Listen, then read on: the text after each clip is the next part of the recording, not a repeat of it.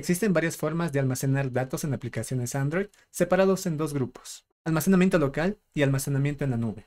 Del almacenamiento local podemos hablar en otro video, pero el anfitrión en este video es el almacenamiento en la nube, donde utilizaremos el servicio con el que Firebase se hizo famoso y ese es Real Time Database.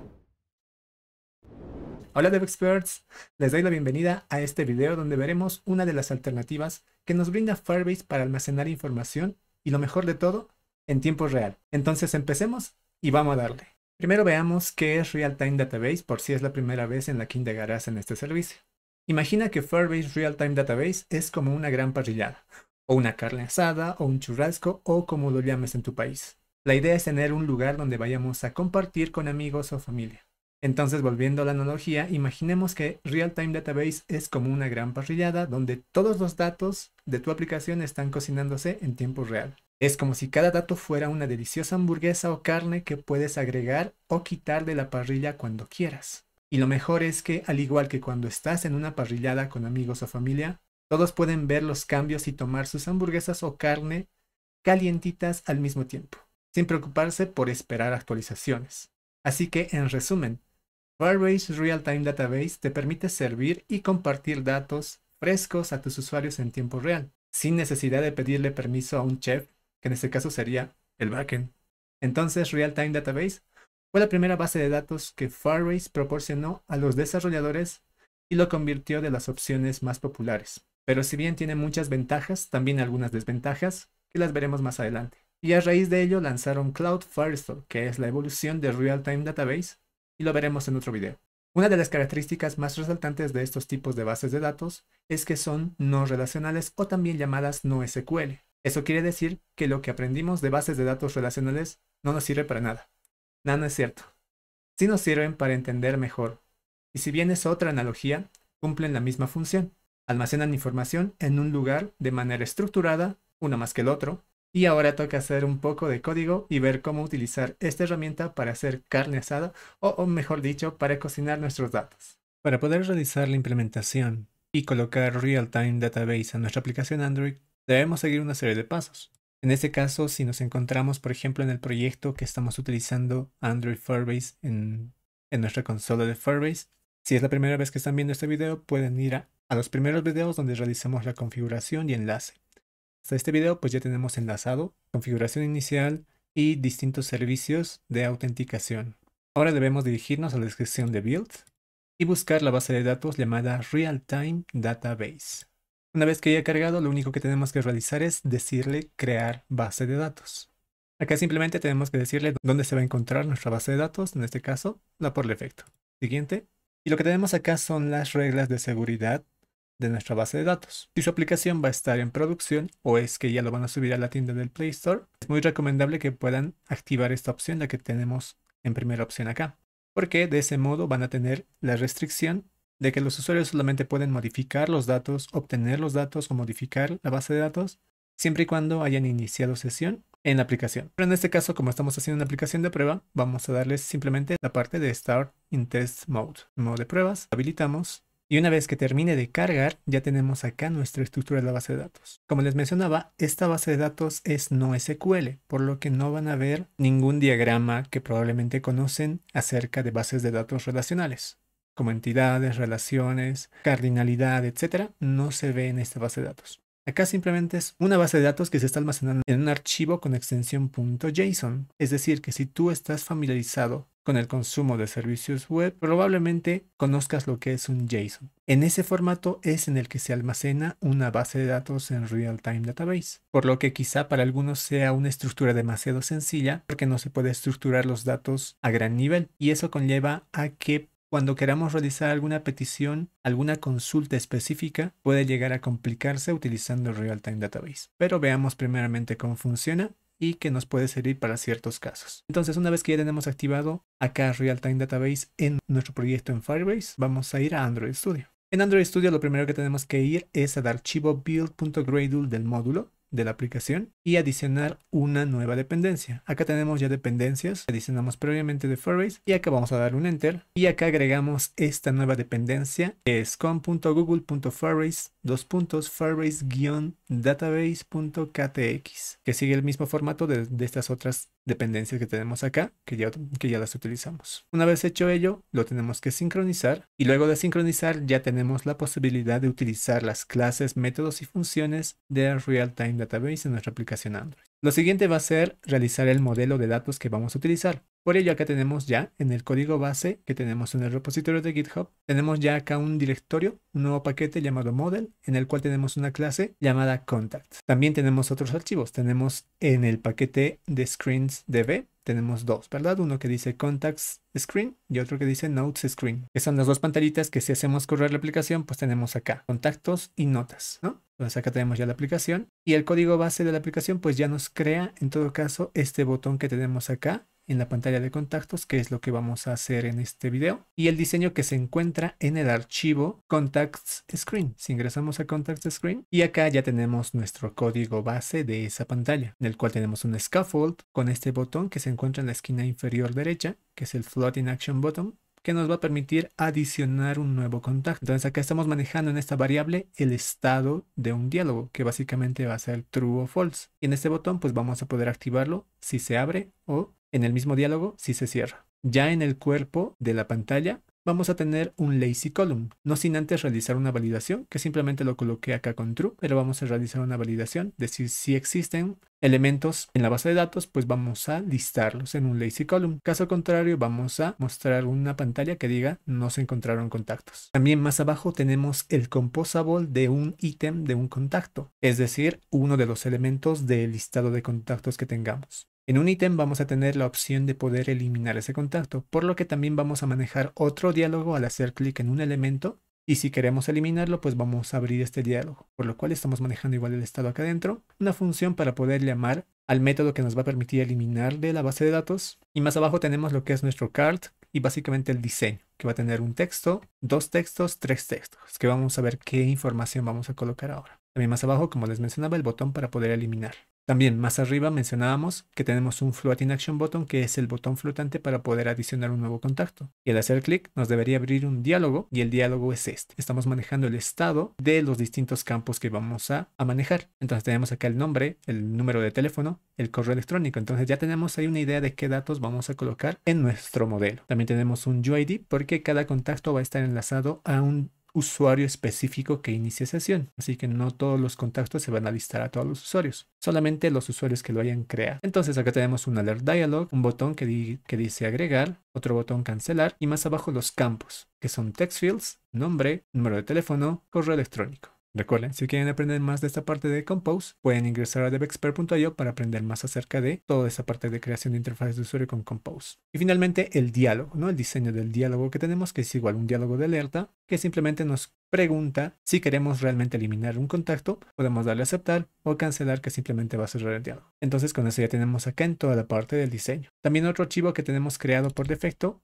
en el código base de este video es la clase Realtime Manager. Como les mencionaba también en anteriores videos, no estamos manejando una estructura muy avanzada, simplemente estamos separando en ciertos archivos, que en este caso tenemos un Realtime Manager, en el cual van a estar todas las funciones y métodos, incluso la instancia para poder conectarnos directamente a Cloud First. Ahora sí vayamos a hacer la estructura del modelo. Para nuestra clase contacto, que en este caso va a ser un data class, vamos a necesitar ciertos datos como ya vimos, el nombre, el correo electrónico y el número de teléfono. Adicional a ello también vamos a agregar otro parámetro que va a ser el UID o el User ID. Como les mencionaba, un contacto va a estar enlazado a un usuario específico que lo haya creado. Entonces por ello tenemos este, este campo UID para poder almacenar el identificador del usuario que esté logueado en ese momento y haya creado ese contacto. Y también tenemos el campo llamado key, ese campo key es el por defecto que existe en Real Time Database, el cual referencia al identificador de un contacto en la base de datos. Entonces, ¿cómo podemos llamar esa clave? Referenciarlo con el nombre key. Por eso también lo estamos mapeando para saber qué contacto queremos eliminar, por ejemplo. Entonces lo tenemos también acá mapeado en nuestro objeto contacto. ¿Por qué lo estamos colocando como nulo? Porque en este caso no vamos a enviar el dato del key desde la aplicación Android Real Time Database. Lo que vamos a realizar es obtener todo el JSON de los contactos y mapearlo en cada objeto y obtener el key. Eso nos va a permitir a nosotros que cuando queramos eliminar, por ejemplo, un contacto, sepamos fácilmente el key que queremos eliminar para enviar esa llave o ese identificador del contacto y poder eliminarlo más fácilmente. Entonces, para enviar no tenemos nada pero para recibir sí. Una vez que ya tenemos el modelo, procedamos a ir a nuestra clase Realtime Manager para poder realizar y crear los métodos necesarios para acceder a la dependencia de Realtime Database. Lo primero que tenemos que realizar es inicializar una referencia a la base de datos Realtime Database y crear una rama o conectarnos a una rama si es que existe. Entonces lo que tenemos que crear es una variable. En este caso la llamamos database reference de tipo database reference, que es de la dependencia de real-time database, y de la base de datos en tiempo real que estamos utilizando real-time database, vamos a obtener una instancia. Al obtener una instancia, es decir que estamos conectándonos con la base de datos. Lo siguiente a realizar es crear una referencia específica de algún lugar de la base de datos. Y acá tenemos que aprender algo nuevo que son los hijos, o en este caso los childs. Es decir, de un objeto JSON, ¿quién es su padre? Ese va a ser al que queremos conectarlo.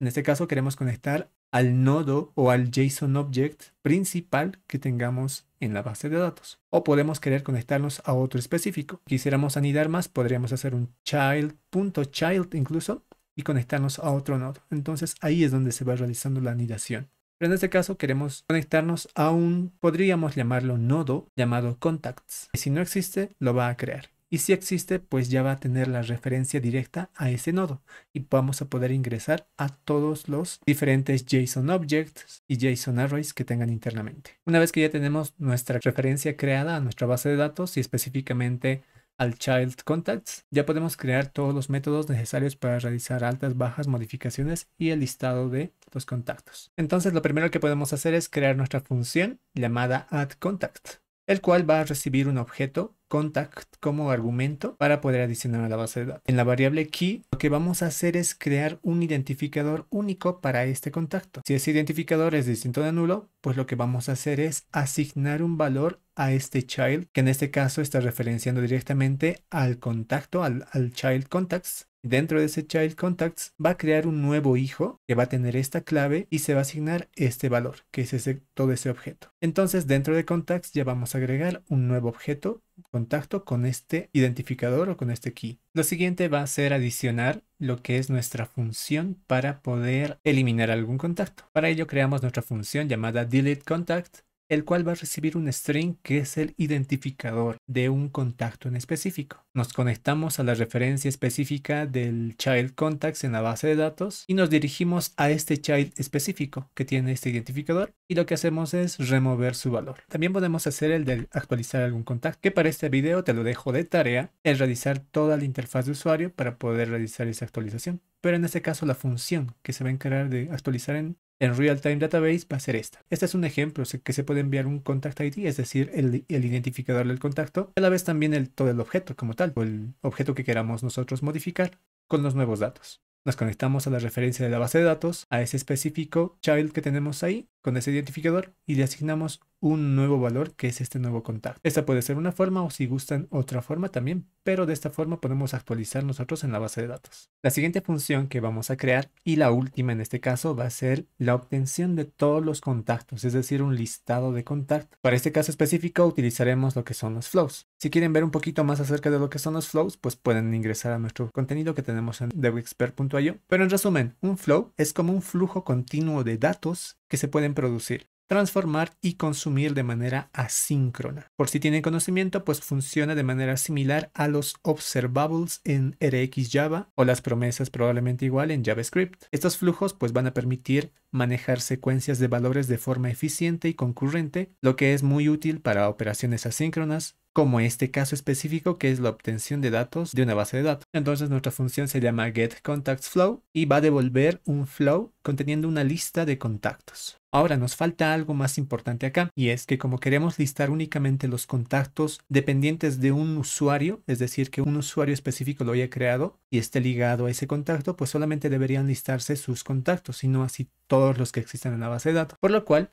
vamos a necesitar crear una variable global más en la parte de arriba acerca de una referencia a la autenticación, en este caso al usuario que esté logueado en este momento en la aplicación. Entonces para ello creamos una variable llamada outManager y debemos crear una instancia de la clase que tenemos que administra las sesiones de usuario llamada outManager. Necesita el contexto, por lo que necesariamente RealTime Manager necesitará un parámetro de ingreso al crear una instancia de Realtime Manager, que es el contexto. Una vez hecho eso, ya podemos enviar el contexto acá, que es a una instancia de OutManager. Y en OutManager tenemos las funciones necesarias para poder obtener lo que necesitamos. Y justamente esta es la función que necesitamos, es decir, el usuario actual que está logueado en la aplicación, get current user. Una vez que ya tengamos una referencia de OutManager, volvemos a nuestra función para poder obtener el listado y en una variable llamada idFilter para poder realizar un filtrado, llamamos a la función getCurrentUser y obtenemos el user ID o el UID del usuario que se encuentra en este momento logueado en la aplicación. Ahora lo que hacemos es crear nuestro, nuestro flow gracias a un callback que va a estar constantemente escuchando los cambios que existan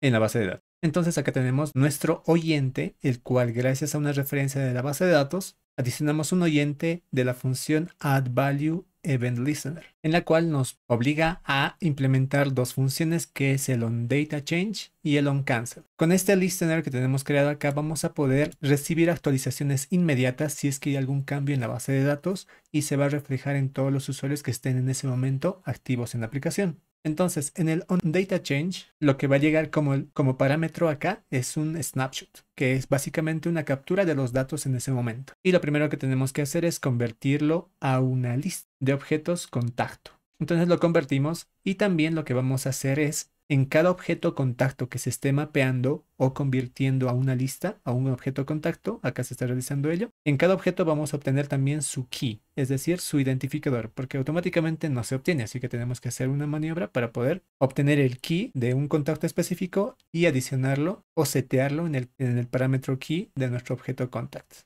Y una vez que ya tengamos la lista, pues la enviamos con el try-send a través del flow filtrado. Solamente estamos filtrando los contactos que pertenezcan a determinado usuario. Y en la función onCancel, si es que pasa algún error, pues va a cerrar el canal con el error correspondiente. Y también del callback flow, lo que tenemos es una wait close, que cuando el flujo se cierra, pues va a eliminar lo que es el oyente o el listener para evitar fugas de datos. Entonces con eso ya tenemos nosotros creada nuestra función getContactsFlow, que va a estar pendiente de todos los datos que vayan adicionándose o eliminándose en la base de datos para poder mostrarlos. Ahora ya tenemos todas las funciones listas para poder llamarlas desde nuestro diseño. Pero primeramente, para poder abrir esas dos pantallas, anteriormente realizamos de esta manera. En este botón Graph tenemos la posibilidad, en el homescreen.kt tenemos la posibilidad de poder abrir tanto Contacts Screen como Notes Screen. Entonces, para no tener problemas con la recomposición, mejor lo enviamos como un parámetro al momento de crear una instancia de determinada pantalla. Entonces lo que vamos a realizar es crear una instancia de la clase Realtime Manager para poder enviarlo como parámetro a Contacts Screen. Y también probablemente necesitemos una referencia a Out Manager. En este caso lo vamos a hacer así. En el siguiente caso de, de Cloud Firestore vamos a hacerlo de manera distinta. Pero acá podemos enviar incluso también una referencia a Out Manager desde acá. Entonces, para crear una referencia de Real Time Manager necesitamos el contexto. Por lo que vamos a tener que aumentar acá como parámetro recibir el contexto también acá. Por lo que para esta función llamada button graph tenemos como parámetros NavController, un context y también OutManager que tenemos que enviar seguramente cuando llamemos esa función. Por lo que si nos dirigimos más arriba donde se encuentra la llamada a esa función composable que modificamos, tenemos que enviar el contexto y también una instancia de OutManager. Vemos que de OutManager no tenemos problema porque está en la variable out, pero no tenemos el contexto, por lo que debemos también volver más arriba y por acá obtener el contexto de un composable que lo utilizamos con localcontext.current. Entonces ya tenemos el contexto, también la llamada a esa función ya estamos enviando correctamente los parámetros del navController, el contexto y una referencia de OutManager. Dichos parámetros lo estamos recibiendo en esta función, además de la referencia que estamos creando de Realtime Manager de una instancia. Y ahora sí lo podemos mandar a través de Context Screen. De esta manera, en la variable realtime enviamos la instancia que creamos de la clase realtime manager y en la variable outManager la instancia que tenemos de ingreso acá como parámetro de outManager. Nos muestra con un error porque no tenemos estos parámetros definidos en la creación de este contact screen. Por lo que ahora sí nos dirigimos al archivo contactscreen.kt. Y acá lo primero que tenemos que adicionar es los dos parámetros que están ingresando para poder crear en todo caso este contact screen, que es un composable. Entonces adicionamos los parámetros y ya no nos debe mostrar ningún error en home screen. Está todo perfectamente correcto. Ahora en contact screen, ya podemos hacer la llamada o la obtención del flow del listado de contactos que queremos obtener para poder mostrarlo en nuestra aplicación. Ahora lo que debemos hacer es obtener la lista de contactos a través de un flujo, los cuales lo vamos a asignar a la variable contacts. Es decir, que en esta variable contacts ya tenemos el flujo del listado de contactos listo para poder utilizarlo. Ahora, ¿qué hacemos con este listado de contactos? Antes de realizar las acciones de adicionar y eliminar, podemos ver directamente más abajo, en nuestro cuerpo de, de este scaffold, en el cual tenemos una validación, ¿verdad? Tenemos un if, en el cual la validación correcta sería en caso de que en la lista de contactos del flow sea nula o vacía, o en todo caso en caso de que no sea nula o vacía, va a ingresar a mostrar el contenido en un lazy call. En caso de que sí sea nula o vacía esta lista de acá, lo que va a hacer es mostrar un icono al medio de la pantalla y un texto que diga no se encontraron contactos. Y en caso de que sí existan elementos, lo que vamos a hacer es iterar esa lista. Gracias a un for each, iteramos, acá tenemos el objeto, cada uno de los objetos que estamos iterando, a través de un ítem, agregamos un ítem cada vez que haya un nuevo elemento. En este caso llamamos al composable llamado contact item, le enviamos el contacto como tal y también una instancia de real time. Entonces con esto ya estaría nuestro listado. Ahora vayamos a ver qué tenemos en contact item y por qué tenemos que enviarle una referencia de real time database. Entonces en contact item lo que tenemos acá es el estado de que si va a estar abierto o cerrado el diálogo para poder eliminar un contacto. ¿sí? La función para poder eliminar el contacto la tenemos acá, que no la estamos realizando todavía. En este caso el estado inicia en falso y en esta validación que tenemos acá, falso no va a ingresar para nada. Cuando sea verdadero y cambie su estado, automáticamente lo que va a hacer es llamar al, al composable delete contact dialog, en el cual van a poder realizar dos acciones, confirmar el eliminado o, poder apagar o en este caso ocultar el diálogo. Si bajamos más abajito tenemos nuestro card con nuestro diseño. Esto va a ser para el, el listado de elementos que tenemos. Vamos a mostrar acá, por acá nos dice un texto, ¿no? Otro texto y otro texto. Entonces acá tenemos que modificar para poder mostrar la información correcta que nos está llegando en el objeto contact. Entonces en el primer campo de texto vamos a mostrar el nombre del contacto. En el siguiente campo vamos a colocar el número de teléfono y en el tercer campo colocamos su correo electrónico. Así con esos datos pues ya le estamos dando uso al objeto contact que está llegando como parámetro a este composable que es el contact item. Entonces con eso ya tenemos y ya estamos mostrando la información correcta en nuestra pantalla. Y finalmente tenemos acá en este row un botón que dice que cuando hagamos clic, el estado de Show Delete Contact Dialog lo va a colocar en True. Eso quiere decir que como estamos, estamos controlando el estado de esa variable llamada Show Delete Contact Dialog, va a hacer que automáticamente se muestre el diálogo llamado Delete Contact Dialog que tenemos en este diálogo tenemos esto, básicamente el diseño y las llamadas a las funciones que vamos a realizar. Es un diálogo de alerta, el texto que va a decir nada más para poder confirmar si queremos eliminar el, contacto o no. Entonces si le damos clic en confirmar, va a ejecutar la función onConfirmDelete que se encuentra en esta acción de la llamada de este diálogo. Y lo que va a realizar ahí en este caso nos dice que va a llamar a la función onDeleteContactConfirm y también va a colocar el estado del diálogo otra vez en falso para que se pueda cerrar. Ahora sí, lo que podemos hacer acá es llamar a una instancia, a la instancia de Real Time Database, llamar a la función delete contact y enviarle específicamente el key o la clave o el identificador de un contacto. Y automáticamente lo que va a hacer es, ello es eliminar de la base de datos este contacto que hemos seleccionado. Entonces con ello ya tenemos la posibilidad de realizar nuestro listado, nuestro listado de elementos ya los tenemos. A través de Contact Item vimos que teníamos la posibilidad de eliminar un contacto y también ya lo hicimos. Ahora lo que nos falta es poder adicionar un contacto y eso donde lo realizamos a través de este Floating Action Button que tenemos más arriba. Al hacer clic nos dice que vamos a manejar también el estado del diálogo llamado Show Add Contact Dialog. Entonces igual estamos manejando el estado de este diálogo y cuando se abra pues va a pasar algo y seguramente nos va a abrir un diálogo con, con la información que queramos nosotros guardar. Entonces cuando nosotros vayamos a hacer clic en este Floating Action Button, cambiamos el estado de la, variable, de la variable Show Add Contact Dialog. Eso automáticamente salta acá y se va a convertir en verdad y va a ingresar este. Lo que hacemos es llamar a este composable llamado Add Contact Dialog, el cual nos pide tres parámetros. El primero es la acción onContactAdd, que es para poder adicionar un contacto. El segundo parámetro es el parámetro para poder ocultar el diálogo.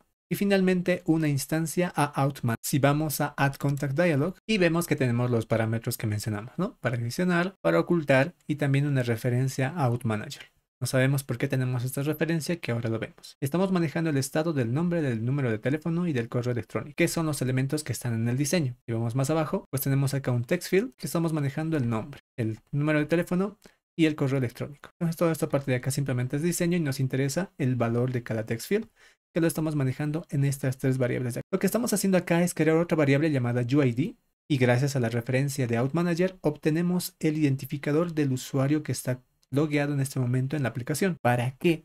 Como este es un, un composable para poder adicionar un contacto y mencionamos que queremos tener solamente los contactos ligados a un usuario. Entonces tenemos que sí o sí obtener el identificador para poder adjuntarlo al objeto y eso adicionarlo. Entonces cuando nuestro valor dialog cuando tengamos que hacer clic en el botón agregar, en el cancelar simplemente nos va a cerrar el diálogo. En el botón agregar lo primero que vamos a realizar cuando hagamos clic en agregar es crear un nuevo objeto de tipo contact. Le enviamos con el nombre, justamente que se está manejando el estado del text field, el teléfono y el correo electrónico. Además, como ya tenemos el identificador del usuario, lo mandamos también adjuntado al objeto.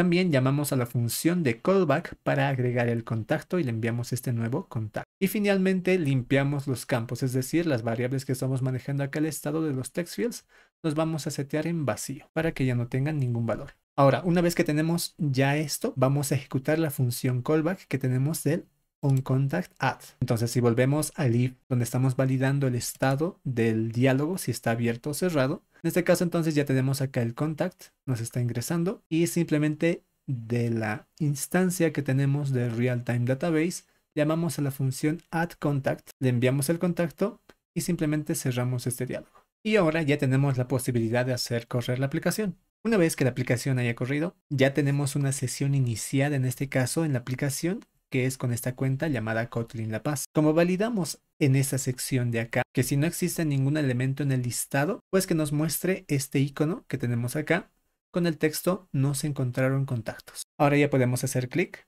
para poder adicionar un nuevo contacto. Nos abre un cuadro de diálogo donde podemos nosotros adicionar información. Una vez que ya tengamos los datos colocados ahí en este diálogo de nombre, teléfono y correo, podemos darle clic en agregar y automáticamente se va a listar en esta pantalla. Lo que nos tocaría ver ahora es en la base de datos si realmente se adicionó esos datos. Si vemos acá, se creó automáticamente este nodo contacts o este child contacts. Si lo desglosamos, tenemos acá un identificador con elemento y acá tenemos contacto 1, contacto 1, el número de teléfono, el identificador del usuario y si podemos agregar otro. Y si le damos clic en aceptar o agregar, veremos que inmediatamente en la base de datos se actualiza y se agrega un nuevo elemento. Esa es una característica súper interesante de Firebase, en este caso de esta base de datos de Real Time Database, que la información se sube inmediatamente rápida, sumamente rápida. Ahora podemos probar un nuevo contacto para poder eliminarlo. Y vemos que lo agrega nuevamente en la base de datos. Lo vamos a eliminar haciendo clic en el diálogo de eliminar contacto. Le decimos que aceptar y automáticamente se elimina tanto del listado de nuestra aplicación como de la base de datos. Y eso es instantáneo. Probemos una cosa más, que es ingresar con otra cuenta de usuario. Cerramos sesión y vamos a iniciar sesión con otra cuenta. Por ejemplo, mi cuenta personal. Si ingresamos, vemos efectivamente que no tenemos ningún contacto creado, pero en la base de datos seguimos teniendo dos. Vamos a crear uno nuevo desde mi cuenta. Le damos clic en agregar y automáticamente va a agregar un nuevo contacto pero en este caso en mi cuenta de usuario. Probamos una vez más y cerramos sesión. E iniciamos sesión con la cuenta de usuario donde ya teníamos dos contactos. Y justamente ahí vemos nuestros dos contactos que tenemos. Entonces ya tenemos la posibilidad de poder realizar altas en nuestra base de datos con la función addContact. En este caso simplemente llamamos a la función setValue a través de un child que se vaya a agregar con una llave única. También la posibilidad de poder eliminar contactos con la función removeValue a través de un child específico que le vayamos a dar. Y también poder obtener un listado de los elementos y mantenerlos en tiempo real. ¿A qué me refiero en tiempo real? Por ejemplo, si alguien en la base de datos o algún otro usuario modifica este contacto, por ejemplo, los cambios se van a ver inmediatamente en la aplicación. Por ejemplo, en vez de contacto 2, voy a colocar contacto y aumentarle dos números 2 más. y automáticamente ya se mostró acá. Es inmediato el cambio. Voy a cambiar este a 1, 1, 1, Enter, e inmediatamente se está viendo el cambio acá. Es sumamente rápido e instantáneo. O sea, el cambio es en tiempo real. Así que solamente te falta realizar y adicionar la función para poder actualizar un contacto. Probablemente tengas que crear o tal vez reutilizar la interfaz o el diálogo que tenemos para poder adicionar un contacto, en este caso para poder ya enviarle datos cargados y llamar a esta función. También, si quieres comprobar que esta base de datos es un JSON, puedes darle clic acá y exportar JSON. Lo podemos guardar y, por ejemplo, yo lo estoy abriendo acá en mi navegador y lo que tenemos es este JSON de acá. Tenemos un JSON con un child principal llamado contacts y después cada uno con un identificador único. Identificador único de cada contacto y cada contacto, estos dos están con el mismo usuario y este con otro usuario. Está ligado a otro usuario y con los datos que ya vimos que pudimos adicionar. Entonces de esa manera ya tenemos nuestra aplicación Android con la posibilidad de almacenar información desde nuestra aplicación hacia Firebase Real-Time Database. Bien, ¿qué te pareció Real-Time Database? Es importante recalcar que no es la única opción que nos brinda Firebase. Tenemos también Cloud Firestore, la cual lo veremos en otro video. Pero este servicio de almacenamiento de datos que vimos es realmente llamativo y útil, ¿verdad? ¿O no me dirás que no? Pero una de las cosas que nos da un poco de incomodidad es tener problemas en las consultas con muchas anidaciones que tengamos. Pero por lo demás es un servicio por demás útil para nuestras aplicaciones. Si viste código en este video que pasé de largo es porque tenemos los lugares perfectos para que puedas aprender como todo un DevExpert. Solo debes ingresar a devexpert.io y apuntarte a los programas gratuitos para aprender Android, Kotlin y Jetpack Compose de manera básica pero si quieres profundizar, apúntate a los programas Expert y lleva tu conocimiento al siguiente nivel. Dejé pendiente la acción de editar un contacto. Es tu turno de completar la aplicación para que puedas practicar y practicar. Si tienes dudas o sugerencias, déjalo en la caja de comentarios. Recuerda que el código fuente se encuentra en un solo repositorio de GitHub cuyo enlace está en la descripción de este video. Si te gustó, puedes dejarnos un me gusta y compartirlo en tus redes sociales.